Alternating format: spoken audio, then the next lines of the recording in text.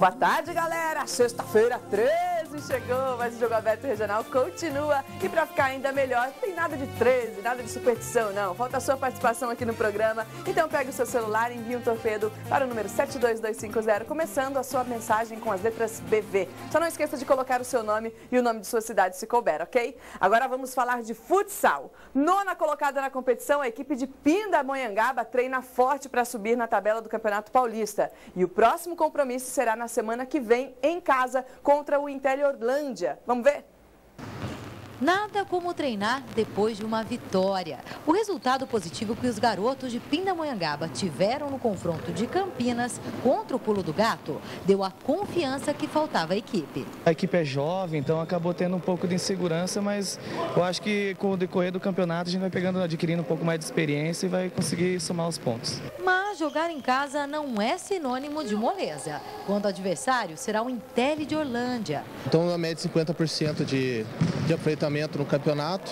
Esperamos agora dois jogos em casa, né? Esperamos fazer no mínimo quatro pontos aí para futuramente ficar entre os, no G, continuar no G12 para classificação do campeonato. Né? E é neste local que o grande clássico irá acontecer. No dia 24 de maio, a equipe de Pinda receberá o São José. E a grande esperança dos anfitriões é de repetir a escrita dos últimos jogos. Ano passado foi difícil a gente perder para eles, né? Então eles vêm embalados também, vai ser um clássico bom também. São José é uma equipe forte, também tá, joga a liga, está muito bem na liga. E com certeza vai, ter, vai ser um jogo muito difícil. Mas esperamos o torcedor comparecer aí para a gente fazer uma boa partida e conseguir os três pontos. O retrospecto desde o ano passado, nosso com eles, é muito bom, né? Ganhamos de quatro partidas, ganhamos três. Esperamos, dentro de casa, manter o nosso aproveitamento. Muito bem, e pela Liga Nacional de Futsal, o São José garantiu ontem à noite mais uma vitória. A equipe joseense goleou o Anápolis por 4 a 1 E eu falo com ele, Antônio Carmo, boa tarde. Boa tarde. Bonito assim com essa camisa da Cotas, hein? É bonito. Chique. É, é, quase igual a de São Paulo. Estrada, não, assim. sacanagem com o São Paulino você falar isso. Judia tá quando força, o Palmeiras né? perde. Quando o Corinthians. Olha, o Corinthians teve o Tolima, o Palmeiras e o Curitiba, o São Paulo vai ir. Cada um tem o o seu, seu problema na vida.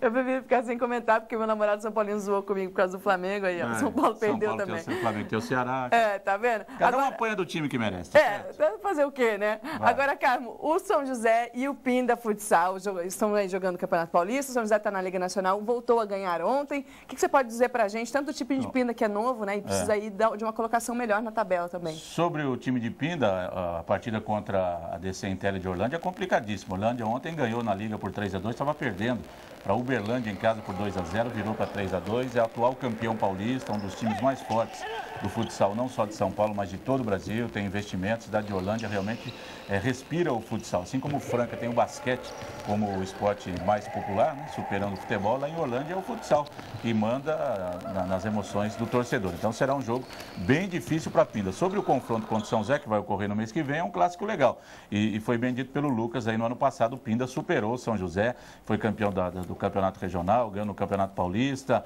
né? apesar de São José ter uma estrutura melhor, Pinda está muito bem com o seu time jovem. Esse ano não está fazendo uma boa campanha no Paulista, vai ter que melhorar. Sobre o São José na Liga, ontem a recuperação, depois de duas derrotas seguidas em casa, uma pela Liga, outra pelo Campeonato Paulista, o time ontem fez aquilo que se esperava. Jogou em cima do, do, do Anápolis, que é o lanterna da competição, abriu 4 a 0 no comecinho do segundo tempo, poderia ter ampliado a vantagem, chegado ao quinto, ao sexto gol, mas aí deu uma segurada um pouco mais, a Nápoles foi para tudo ou nada, criou chances, diminuiu para 4 a 1 mas a vitória foi até certo ponto tranquila para o time josense, que precisava dessa vitória para recuperar-se na competição, para ter mais tranquilidade, uhum. para o técnico Ivan Silva também poder ter um pouco mais de sossego aí e já pensar na viagem da semana que vem. O time viaja segunda-feira, vai para Belo Horizonte, depois vai para o Rio Grande do Sul, serão três jogos seguidos, fora de casa pela Liga Nacional na semana que vem. Vem pedreira pela frente aí, pelo menos o time vai animado com uma bela vitória sobre o Anápolis que foi conquistada ontem. Quem está na Liga Nacional de Futsal, só que feminino, é o time de Pindamonhangaba, que vai jogar sabadão agora, às 6 horas da tarde, fora de casa, contra o Barueri Palmeiras. Boa sorte para as meninas de Pindamonhangaba, viu? E é o seguinte, gente, pelo torneio Novo Milênio de Basquete, a equipe de Pinda perdeu ontem mais uma. O time foi derrotado por 81 a... Aliás, 86 a 71 para uma americana. O Pinda Basquete volta volta a jogar no domingo, em casa, contra o Internacional de Santos Pauleira, às 5 horas da tarde. A entrada é gratuita, portanto, o pessoal de Pinda aí compareça e apoie o time. E no sabadão, Antônio Carmo Jacareí vai receber o Mogiano no ginásio do Camais Centro, às 6 horas da tarde. A entrada também é gratuita. Parabéns ao pessoal do basquete que continua aí jogando. Pinda vai jogar domingo às 5 da tarde, na hora da final, Santos Tá e Corinthians, né? Não vão poder assistir o jogo. Horário meio ingrato para quem, quem acompanha. Jogador de beijos querem mais a ganhar, a Pinda quer mais a ganhar. Gente, a gente vai para um rápido intervalo, daqui a pouco a gente tem o resultado do Ligue Band com um Opa! saco de pancadas. A gente já volta, tem muita coisa ainda.